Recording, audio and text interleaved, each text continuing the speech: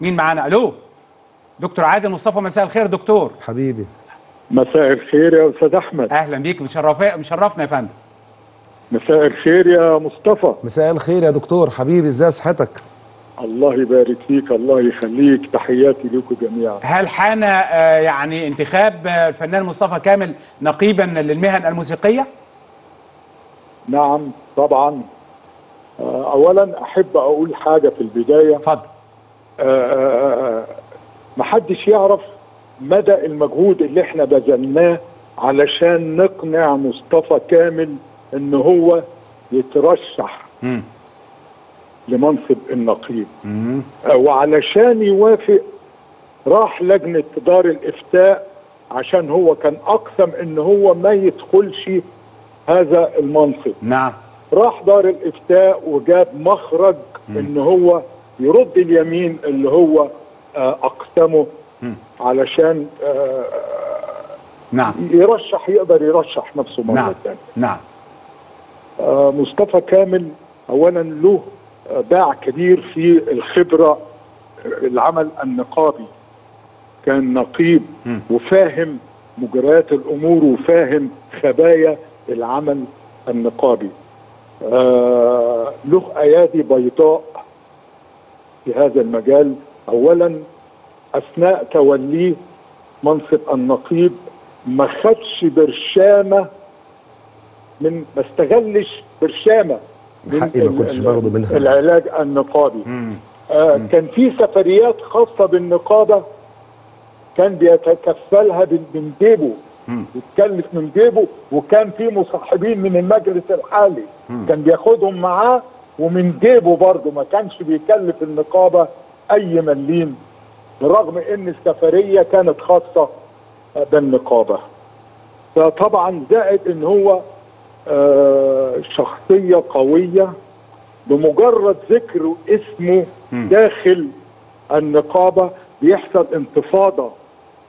انتفاضة وبيحصل يعني آه، في المجلس الحالي بيحصل توتر شديد مجرد ما بيسمعوا اسم مصطفى كامل. دكتور عادل اولا إحنا متشرفين بوجود حضرتك وبشكرك مرة تانية عايزين من حضرتك مجموعة رسائل. اولا دكتور عادل ثم خيرك الأول. اشكر أشكر الدكتور عادل دكتور عادل من إخواتي. الكبار ومن الناس اللي أنا زكيتهم برضو زي الأستاذ حلمي عبد الباقي. كن أوائل الناس لما قالوا الترشح أنا كلمت حلمي قلت له يلا يا حلمي انزل وأنا في ظهرك. قال لي لا الناس عايزاك.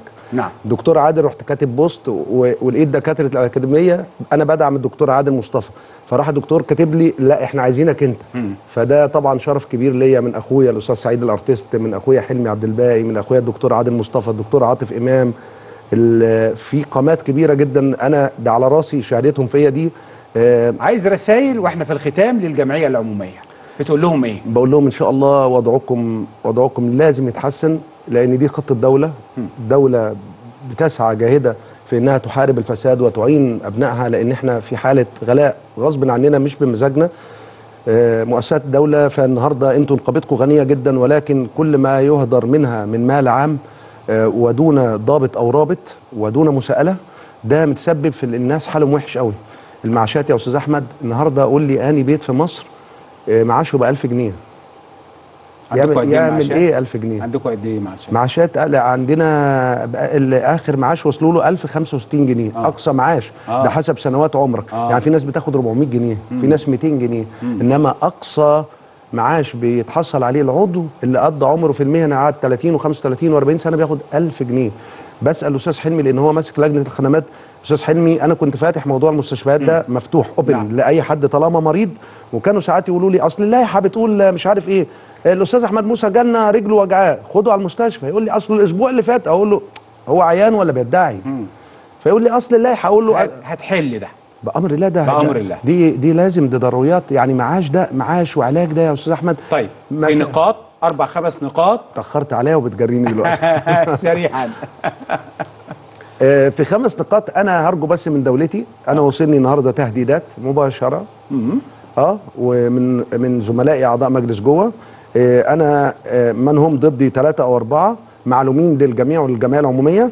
بيقولوا إن هم جايبين شركة جردات يوم الانتخابات. ففي تهديدات. في تهديدات قوية تهديدات. جدا فأنا بوجه نداء لأخونا ال- سيادة اللواء هشام أبو النصر لأن اللي هتبقى الانتخابات هنا في مصر في, نقابة المهن التمثيلية فهتبقى تحت آه، إشراف مديرية أمن الجيزة.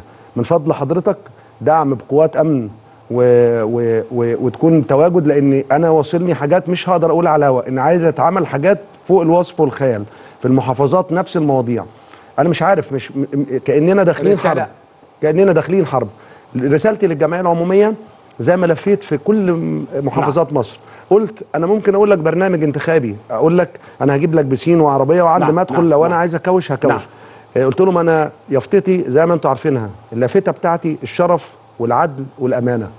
لو اتحقق الثلاثه دول بأمر الله هنسعى جاهدين لكل ما هو في صالح الأعضاء سواء العاملين اللي لسه بالمهنة وتنظيم العملية من خلال الأغنية وشكل الأغنية من مهرجانات لراب لمش عارف إيه تنظيم العلاقة بيننا وبين بعض اولا طهارة بيتنا الأم طهارة. بيتنا الأم ده شيء مهم عظيم. جدا مرورا بأهم الناس عندنا اللي هم زملائنا اللي خلاص قاعد في بيته لازم يعيش حياة مسطوره بس مسطوره حياة على. كريمة. بأمر الله شرفتني ربنا. الله جدا. شكرا جزيلا الله